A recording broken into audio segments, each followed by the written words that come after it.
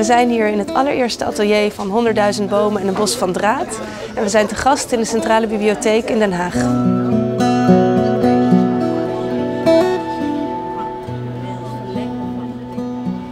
Samen met een heleboel andere mensen borduur ik een bos.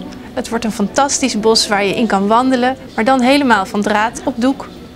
En daarna zorgen we ervoor dat er ook een levend bos kan groeien. Door 100.000 bomen te laten planten in Nederland en in de tropen. Het is toch ongelooflijk dat we 100.000 bomen borduren. Ja. En dat we daarmee ook proberen om 100.000 bomen aan deze aarde te geven. De mensen hier achter mij die borduren de bomen en de bladeren en de vogels in het bos. En dat doen we nu al zeven weken. En er zijn al heel wat meters gemaakt.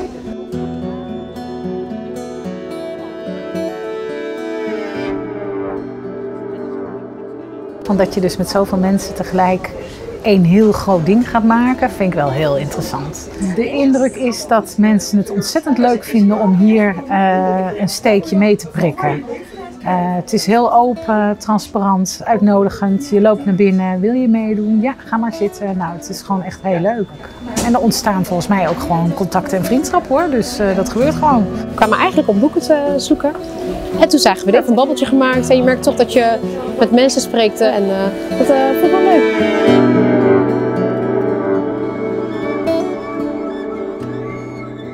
voelt heel erg alsof je door die naald te pakken en samen te borduren, alsof je verbonden bent met, uh, met een heleboel mensen. Het is de eerste keer dat ik borduur, maar ik vind het zeker voor hem.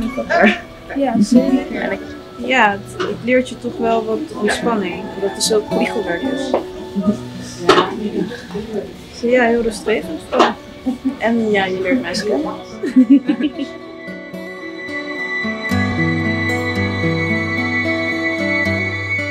Klimaatverandering is dit wel een heel mooi concept wat daar dan ook wel weer aandacht op vestigt. En het zit helemaal aan de kant van oplossen en niet een aanklacht, maar het is een, ja, er wordt iets aangedragen wat bij kan dragen voor weer dat we beter met onze omgeving omgaan. En dat vind ik er wel heel mooi aan. Ja. Heel actueel natuurlijk, het klimaat. Als ik hier aan het borduren ben, dan ben ik gewoon aan het borduren. En of dat nou een boom is of, uh, of iets anders, dat maakt me niet uit. Nee. Daar kan ik nu wel heel uh, heilig over gaan doen, maar dat is gewoon niet zo. Nee.